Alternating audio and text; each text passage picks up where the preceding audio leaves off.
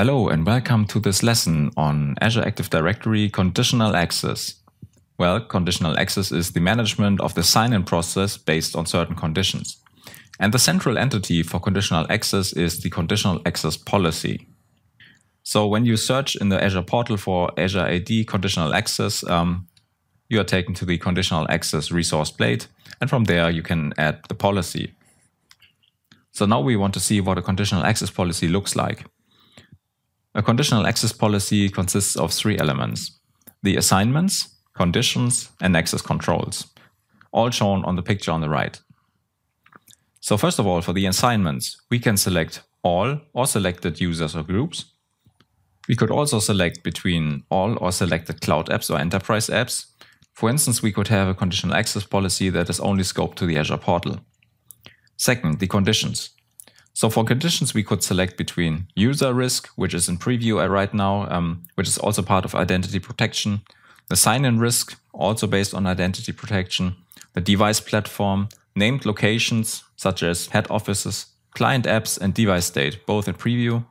For the access control, we must decide between a grant control and a session control. The session control, for instance, restricts access to a session and a certain duration. By default, this duration is 90 days. The grant control is further divided into block control and the grant. Block, of course, blocks access, but for the grant type, we could choose to require MFA, for instance. In addition, and for troubleshooting and rolling out new conditional access policies, we can set the Azure policy enforcement to be report only. So let's consider the case um, that we want to enable MFA for only for Microsoft Office 365. So how do we do that? Well, we create a new conditional access policy, and for the assignment, we go we specify a cloud app um, and only select a cloud app of Office 365. So that's it already. Let's consider another case that we want to enable MFA only for the Azure portal. Again, here we would select the cloud app, and um, this time we would look for Azure Management. So this is the name that the Azure portal goes by when you select the cloud app. Again, very easy, and um, you would select access control grant with a type of grant and require MFA.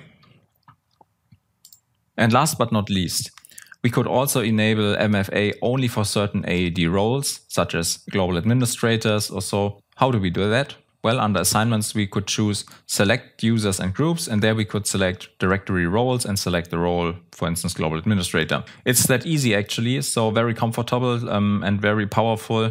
So this way you can customize your conditional access to your business requirements. So that's it for this lesson on conditional access. Thank you for listening and see you in the next one. Bye bye.